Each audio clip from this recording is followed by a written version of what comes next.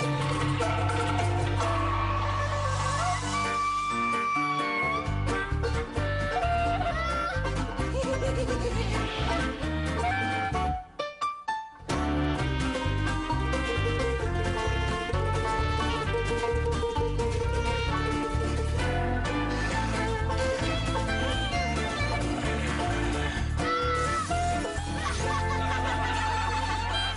Cem Mil e Uma Noites. Versão brasileira Audiocorp.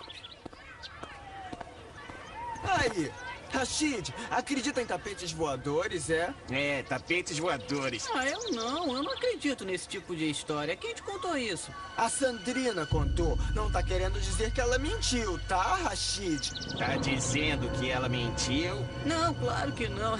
Eu só lhe contei umas lendas do meu país, o Iraque, onde às vezes. Às vezes o quê? É, onde umas lendas dizem tapetes voam.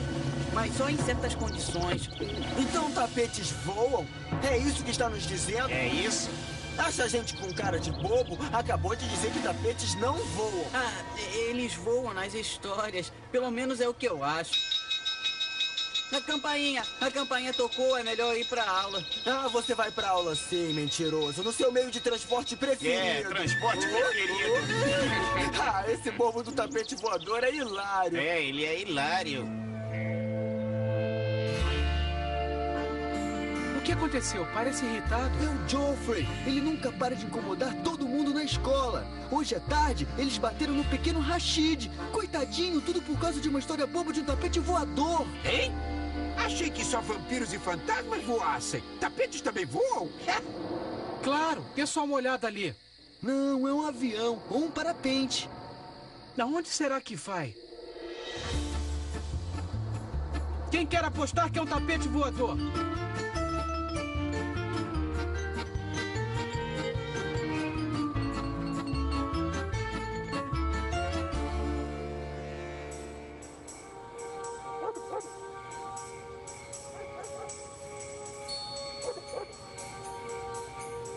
Vamos, tapete, vamos, voa!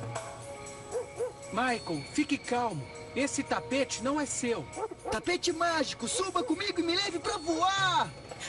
Não vai funcionar mesmo. Não diga que não funciona. Nós vimos ele voar. Vamos perguntar ao motorista como funciona. Ficou maluco? A lua cheia está te afetando, é? Não vamos entrar aí. Ele é maluco.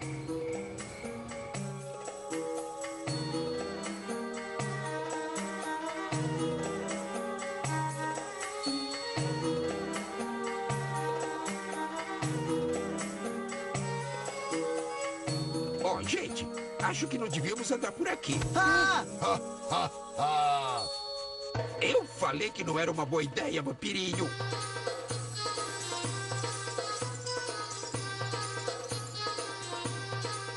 Honorável Pajá, eles estavam nos espionando no corredor.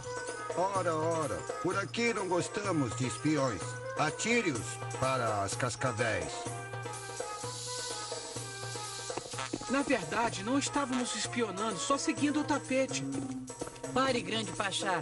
Eles estão dizendo a verdade. Eu os conheço, são meus amigos. Rashid! Hum, Rashid, sabe que é proibido trazer estranhos para cá. Da próxima vez que isso acontecer, eu atiro para as cobras.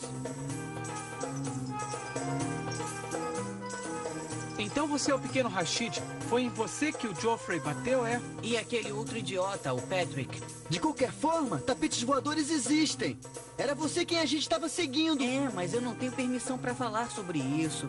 É um tesouro que pertence à minha família. Oh, não se preocupe. Tem um monte de coisas das quais não podemos falar.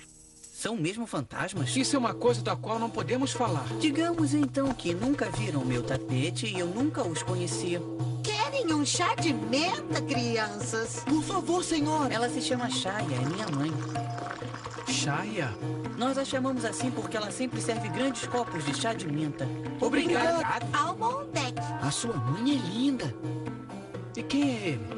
É o patrão dela, Shariar, o Pachá. Ele é bom, mas se fica zangado pode ser muito, muito mal. Muito? É, muito, muito, muito ruim. Bom, é melhor não ficarmos muito tempo, né? Meus amigos, Chegou o momento que todos estavam esperando a hora das histórias. Quem quer começar? Todas as noites temos de contar histórias para ele dormir, mas se ele não gosta das histórias, é aí que fica muito, muito, muito, Muito, muito, muito, muito. muito, muito. Malabar, cadê você? Estou aqui, honorável Pachá. Você começa, Malabar. Ah, sim. Era uma vez 40 ladrões. Você já me contou essa dez mil vezes. Conte outra. Ah, era uma vez um gênio que dormia em uma lâmpada mágica. Pare! Eu estou ficando cansado. Se continuar, corto a sua língua. Ismael, agora é a sua vez. Ah, bom, honorável Pachá. Era uma vez um bom Pachá que tinha um exército muito poderoso. Um dia, um rei resolveu declarar guerra contra ele. Guerra? Por quê? Ah, não. Quis dizer que o bom Pachá decidiu invadir os dados do Pachá. É que decidiram. É, eles decidiram que. É horrível! Totalmente inútil! Inútil! Cansei disso! Shaya, é sua vez. Por favor, conte uma história boa. Eu sei uma. É a história de um gigante chamado Geoffrey. Ele aterrorizava toda a região, roubando comida dos pobres e espancando as crianças. Um dia, o filho de um fazendeiro que era pequeno, mas muito corajoso, resolveu lhe dar uma lição. Pegou um tapete voador que herdou de seus ancestrais e partiu para enfrentar o gigante Geoffrey. A batalha durou dias, noites e mais dias. Mas no final, o filho do fazendeiro derrotou o gigante. Ah, chega! Suas histórias de batalhas, guerra e magia são chatas. São cem mil e uma noites que as escuto. Nesta noite, vamos mudar o disco. Hoje quero ouvir lindas histórias de amor. O que é amor?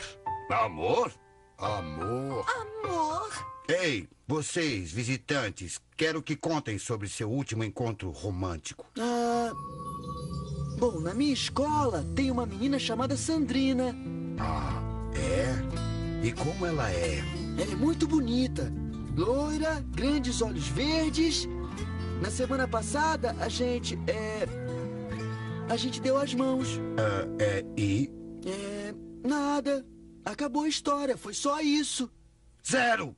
Zero mil vezes isso não é história. Chega! Vocês vão aprender a não zombar de mim. Bom, é verdade. Nossas histórias são chatas. Mas as do Fantomar são boas, muito boas. Minhas? Minhas histórias? É claro, você sabe aquela sua história de amor. Vai, Ah. Cão Vermelho. Estou ouvindo. Ah, bom, eu vou contar. Uma linda história de amor. Muito, muito bonita. É? Ah, há alguns anos, conheci uma garota rara. Ela se chamava... Marguerite. Marguerite. É, Marguerite. Que nome lindo. Eu conheci uma Marguerite. Ou era Margarida? Sei lá. ela tinha lindos olhos negros e uma boca enorme. E ela beijava muito bem. E tinha patinhas pequenas e delicadas. Patas? Ah, quer dizer, pernas delicadas. Os braços dela eram Peludos. Quê? carnudos. Ela era belíssima, sabe? E se vestia com classe e refinamento. Ela latia, quer dizer, ela sempre falava com notável sabedoria e inteligência. Ah.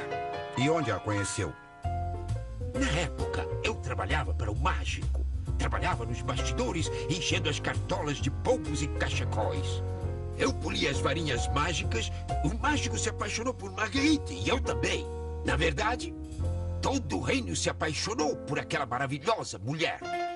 O mágico ofereceu um emprego para ela no espetáculo. Coitadinha. Ela aceitou. E todas as noites era cerrada ao meio pelo mágico. No final, ela começou a ficar coberta de cicatrizes. Uma noite, o mágico se esqueceu das palavras mágicas e a coitada da Marguerite acabou cortada em duas durante horas.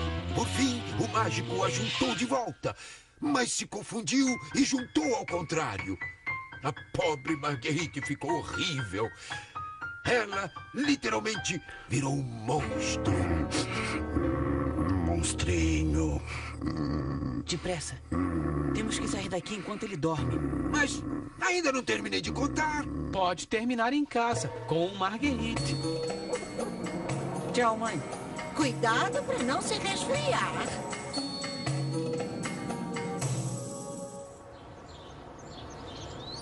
O Geoffrey mora mesmo aqui? É, olhe, dá até pra ver ele brincando com o tapado do Patrick. Hã? Mas o que é isso? Joffrey! Patrick! Sou tapete mágico. Vou levá-los para dar uma volta. Puxa, mas que legal! Super legal. Por falar nisso, acreditam mesmo em tapetes voadores? É, aham. Pois é, não deviam.